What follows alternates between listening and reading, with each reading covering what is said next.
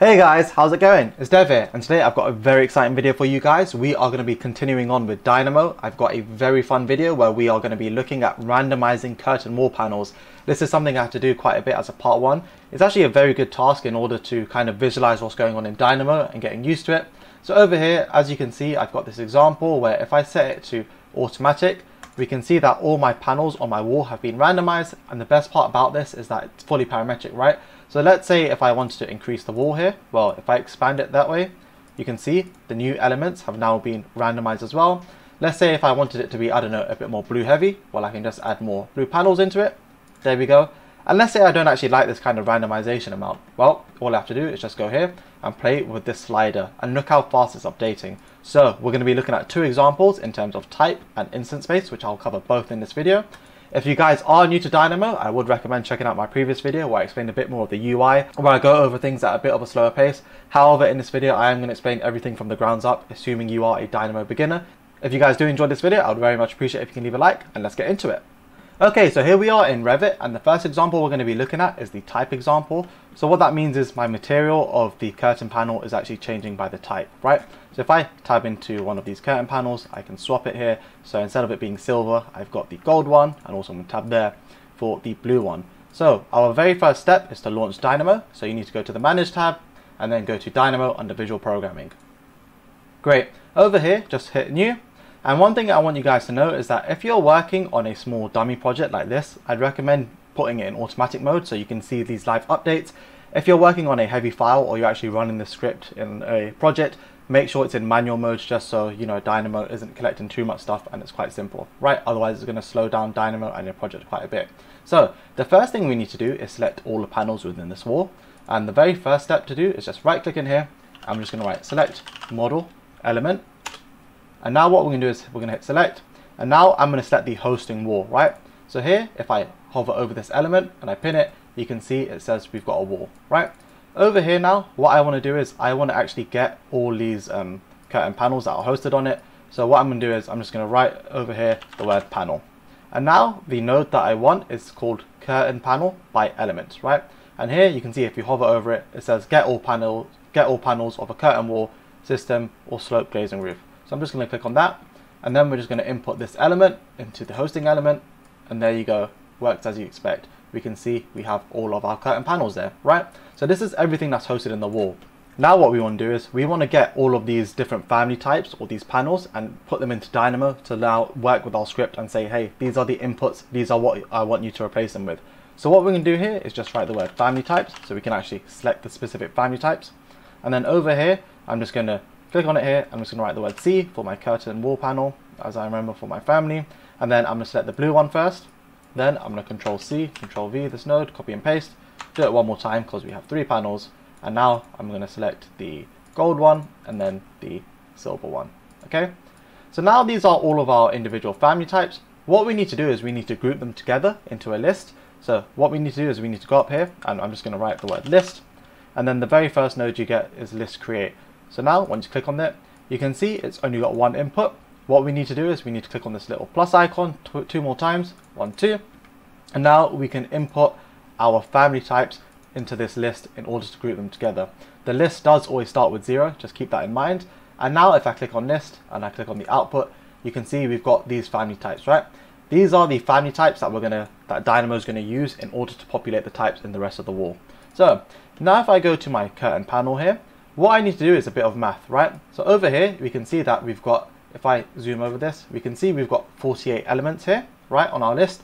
But over here, we've only got three curtain panels that we've generated. So what we need to do is we need to generate more of these panels that we've decided as an input to match the amount of panels that are hosted within this kind of, to match the amount of panels that are hosted within the curtain wall.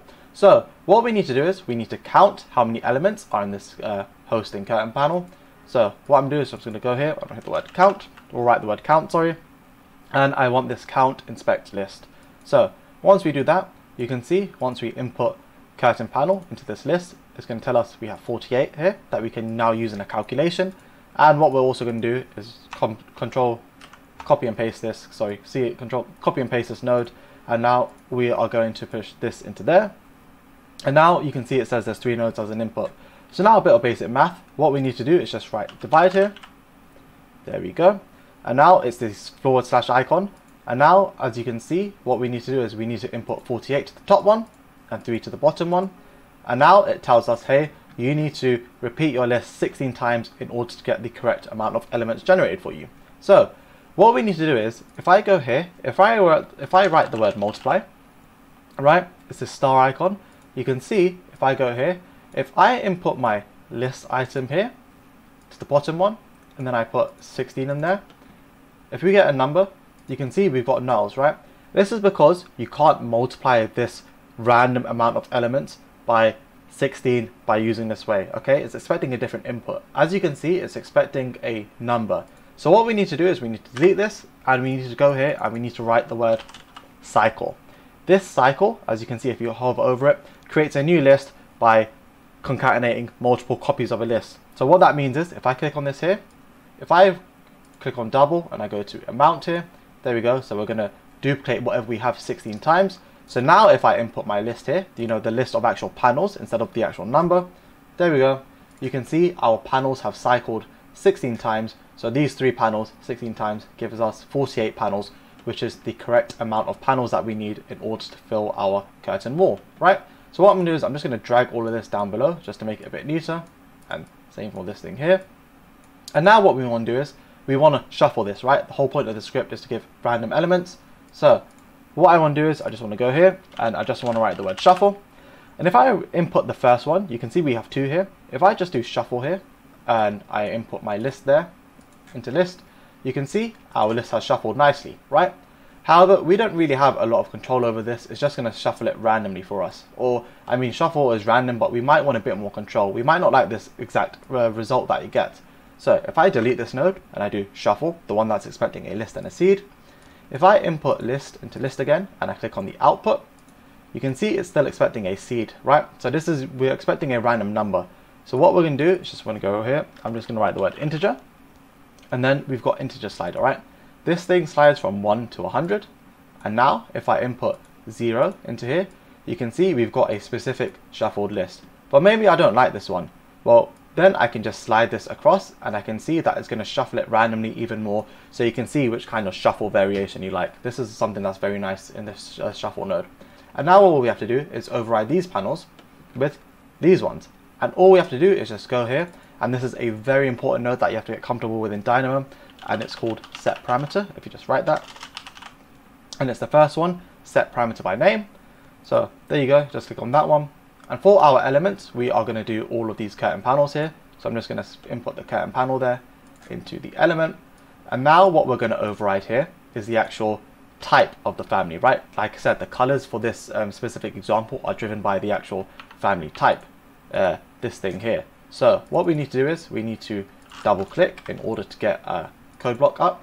And now what you want to do is you want to write brackets, you want to write type with a capital T, close bracket, no, sorry, close apostrophe, and then what you want to do is a semicolon to end it as an input. There you go. And now what you want to do is you want to connect this one to the parameter name. There we go. Because this is the type we're overriding. And as you guessed it, we want to ride, override these panels with this list here in terms of the values.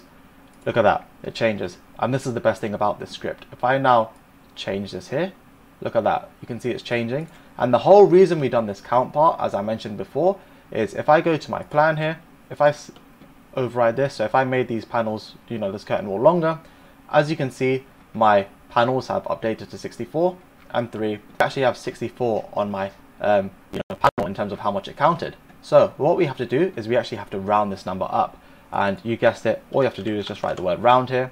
And what you want is the actual math um, ceiling node. So it's going to round it up. There we go. And now for our number, we're just going to input 21 and then you can see it runs up to 22 and now this is the number that we're going to input into cycle there we go for the amount and now it's generated 66 panels but that's fine because a few of these will be discarded but at least now all of our panels are covered right so there we go we have all of this now and now like I said we can continuously change it so that is the type example Okay, so for my instance example, all I'm going to do is I've just swapped all of these panels to the instance-based one. So as you can see, I've only got one type, however, the material is controlled by an instance parameter, right? So I'm actually going to use the same script that I made before. And over here, what I've done is I've just frozen the set element parameter and I've made this go into run mode. Uh, to be honest, I can just freeze it and leave it on automatic. That's equally fine. And for my host, I'm just going to select model element and choose this wall instead. And now what I'm going to do is I'm just going to see all the panels that I get here. And now I'm going to show you a little bit of debugging in Dynamo, right? So if I maximize this, if I go here, if I write first item, if I want to kind of work with something in a list and see all the parameters it's got, instead of working with 48 elements, I can just work with the first one. And now I want to see all the parameters that I can change in this item, right? Ver Dynamo has a very handy node and that's called element.parameters. There we go, it's the first one.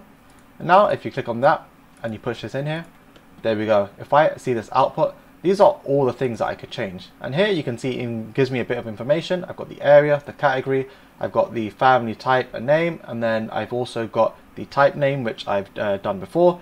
But now what I want to override is the material, right? So silver, because this is the actual material name that I want to do. So all I have to do now is just go back and delete this. And instead of actually giving it, you know, the actual family types, all I have to do here is just let me delete this. If I know what my materials are called, and I know they're called, um, what's it called? I know they're called gold. And remember to always input um, end your input of text um, with the semicolon, and you can contain it within the um, what's it called within the quotation marks. And now what I'm gonna do is I'm gonna do gold. Copy and paste this. Silver and I also believe the last one is called blue. Panel. And now instead of actually inputting family types I'm just inputting names here right? There we go silver and blue panel. There we go. And instead of uh, overriding the type what I'm going to do is I'm going to override the word material here right? Because this is the parameter that I'm changing. Remember that's what I saw before. Now if I unpin this right? So here's my um, instance. If I unfreeze this look at this. It's saying that my parameter is expecting is not a string. Well, I can't just input the material name, right? It's like before. What I have to do is, if I go here, if I go here and if I write the word material, there we go. If I do material by name, so what we're doing is we're actually getting the actual material in Revit. So I'm going to input gold here. There we go. And now what I'm doing is Control C, V, V.